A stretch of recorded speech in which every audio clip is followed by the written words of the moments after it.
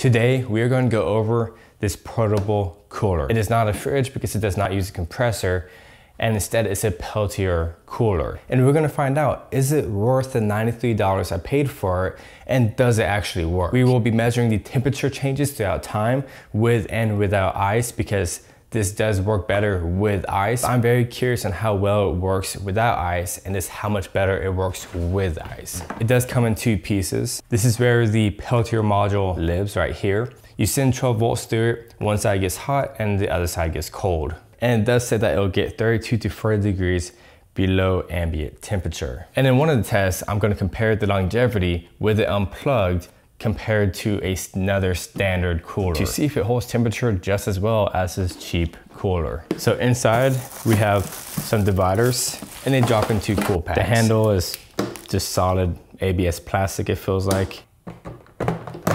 And to me this product is kind of exciting because you can take it in your car wherever you go. If it works the way it says it works. I know a lot of y'all will be curious on the measurements, so let's go ahead and measure it. 15 by 17 by 11. Interior measurements, 12 and a half by 8 and 3 quarters. It's a little over 13 inches deep. This is how it plugs in. This little lid is kind of cheap. It's actually a very long cord. This is the 24 liter model as well. For the purpose of this test, I did get a car adapter to a wall plug-in. Let's go ahead and see how efficient it is. I have two temp readers. I'm gonna put the other one right in the fridge. Has a red light indicating that it is getting power. Let's turn on. It does have a slight hum. I'm excited to see just how hot this exhaust gets too. I'm gonna start with 15 minute intervals, then I'm gonna go to 30 minute intervals until hopefully it gets to about 32 to 40 degrees below ambient temperature. We'll see though, we'll see. This is without ice.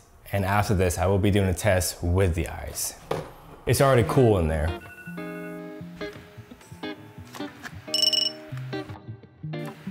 And it's 86 degrees in the garage.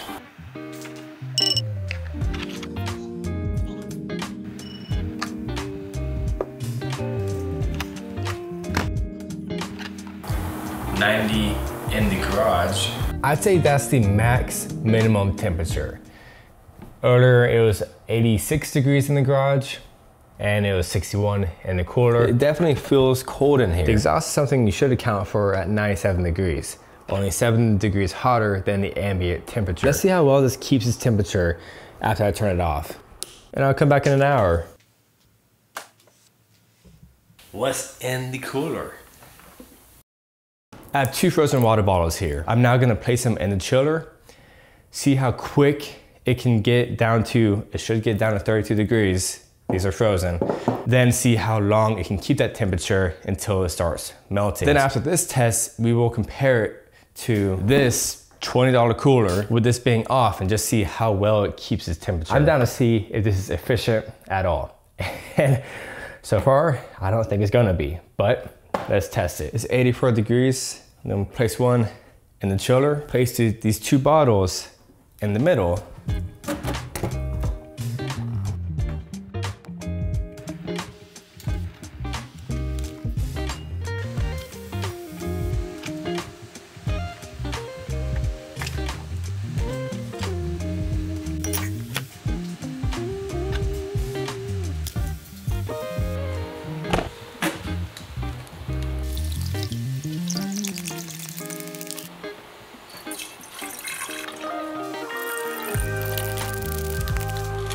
I've done one hour of 15 minute intervals, then one hour of 30 minute intervals, then I waited a total of six hours to come back to the lowest temperature of this chiller with it on, about 48 degrees uh, Fahrenheit. To do as accurate of a test as I possibly can with the circumstances that I have, I poured out the melted water onto my scale and got a total of 635 milliliters. So now I'm gonna compare this cooler is cheaper, much cheaper cooler, with this chiller while this chiller is to off. see if it can hold its temperature at least the same to this guy. The temperature in the garage is 83 degrees, two degrees colder than yesterday. It was at 85. I will be checking both coolers on the same intervals. I'm gonna place two water bottles in each one of these coolers with this chiller off and just compare the numbers over the same intervals with the previous test. And just to see how efficient this really is. Is it pulling 60 watts and not doing much?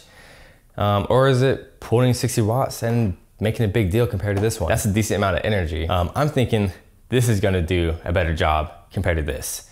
even with this on. Let's get the test underway.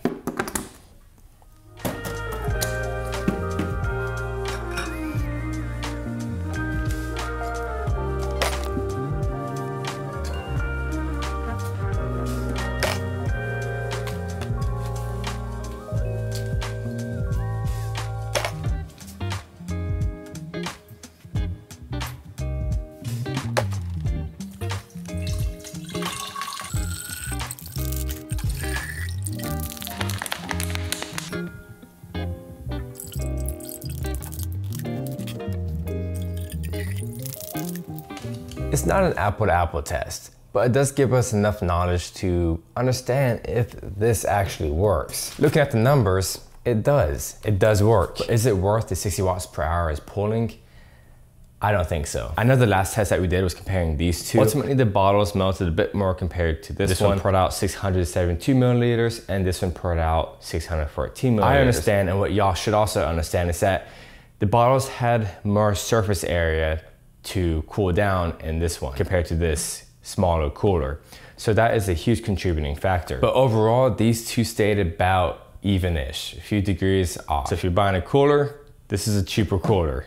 now comparing the chiller to when it was off and on, um, being on was actually a big deal. With it on, the chiller cooled down over 10 degrees colder compared to it being off and that's with the garage temperature being two degrees hotter. And by the end of the 30 minute intervals, so two hours, it got down to 49 degrees in two hours with two frozen water bottles. With the chiller off, it only got down to 60 degrees in two hours. Then with the added 7.5 hours, the chiller got down to, well, back up to 61 degrees with it off. And with the chiller on, it got down to 47 degrees. So it stayed about 12 degrees colder and it only poured out 635 milliliters compared to 672 milliliters. And that's with the garage also being hotter. Is it that big of a difference? Not 60 watts per hour uh, worth, you know? Not in my book. Now, the main reason I got this was hoping that the chiller function would be more efficient. It was advertised to be 32 to 40 degrees below ambient. And it only got about 26 degrees below ambient temperature. So 64 degrees at 90 degrees in the garage. Pushing 97 degrees through the exhaust. That's all something you need to factor in if you're putting it into your camper van or a truck into a small confined space. I bought this chiller in hopes of doing an experiment of making a DIY AC system for my camper van on my other channel. And before I did that, I wanted to test out just how great it was. It's not gonna work for my uses, but if you're to just travel for a day or two with some ice in here, plug into your car, it'll be just fine, it'll get the job done. I'm gonna send this back and get a compressor style fridge, uh, and I found the cheapest one with it being used for $135, which is just about $45 more expensive than this. I will be reviewing that to see if it is gonna be as efficient for what I'm gonna be using it in my experiment. If you're interested in seeing how I'm gonna build this DIY AC system, um, check out my other channel. Builds United. It should be up after I do the other review because I know that compressor style fridge is gonna work just fine. And it pulls 45 watts per hour instead of the 60 and it gets below freezing. If you wanna buy one of these, it'll be linked down below for your convenience. And so will the next review linked down below as well. If this helped you out, then I'll see you in the next video. This is Chris Automotivate. I and respect one another. I'll see you next time.